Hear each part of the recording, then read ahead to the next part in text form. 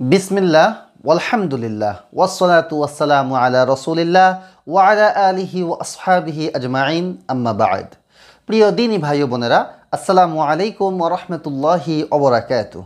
আমি মোস্তাফিজুর রহমান মুয়াজ আজকে খুবই গুরুত্বপূর্ণ একটি প্রশ্নের উত্তর নিয়ে হাজির হয়েছি।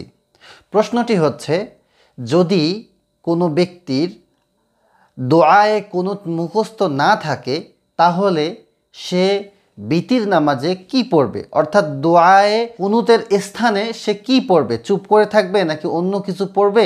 সঠিক পদ্ধতিটা কি? তো বন্ধুগণ, প্রথমে আমাদেরকে জানতে হবে যে বিতির নামাজে দোয়ায়ে কুনুত পাঠ করা কি? বিতির নামাজে দোয়ায়ে কুনুত পাঠ করা হচ্ছে ওয়াজিব, অর্থাৎ ফরজের কাছাকাছি। দোয়ায়ে কুনুত পাঠ করা কিন্তু ফরজ নয়, কিন্তু ফরজের কাছাকাছি।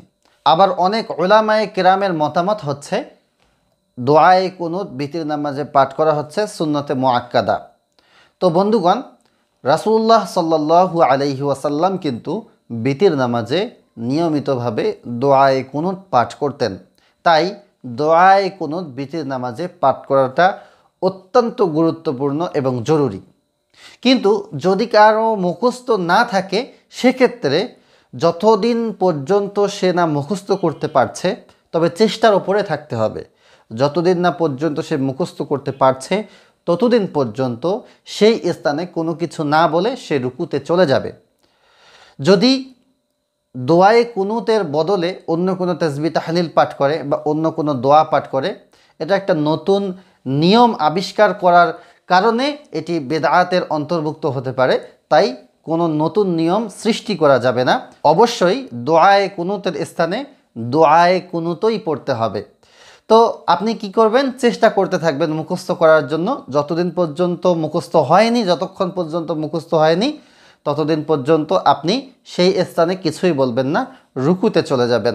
তো প্রিয় বন্ধুগণ, আপনারা কীভাবে খুব সহজে, পানির মতো সহজ পদ্ধতিতে দোয়ায় কুনুত মুখস্থ করতে পারেন। সে সম্পর্কে আমি একটি ভিডিও দিয়েছি। আপনাদেরকে একদম প্রতিটা শব্দে শব্দে, ভেঙ্গে ভেঙ্গে শেখানোর চেষ্টা করেছি বাংলা উচ্চারণ সহ। আপনারা যদি পানির মতো সহজ পদ্ধতিতে দোয়ায় কুনুত শিখতে চান, তাহলে অনলাইন মাদ্রাসার এই ভিডিওটি দেখতে পারেন। আমি উপরে আই বাটনে দিয়ে দেব, সেখানে ক্লিক করে আপনারা দেখতে পারেন। ইনশাআল্লাহ আপনারা উপকৃত হবেন। তো প্রিয় বন্ধুগণ, এই ছিল আজকের ভিডিও। আমি আশা করি যে আপনাদের প্রশ্নের উত্তরটা আমি দিতে পেরেছি। যদি এই ভিডিওটি আপনাদের ভালো লেগে থাকে, তাহলে অবশ্যই ভিডিওটি শেয়ার করে দিবেন। যাতে করে অন্যান্য মুসলমান ভাই বোনেরাও এ সম্পর্কে জানতে পারে।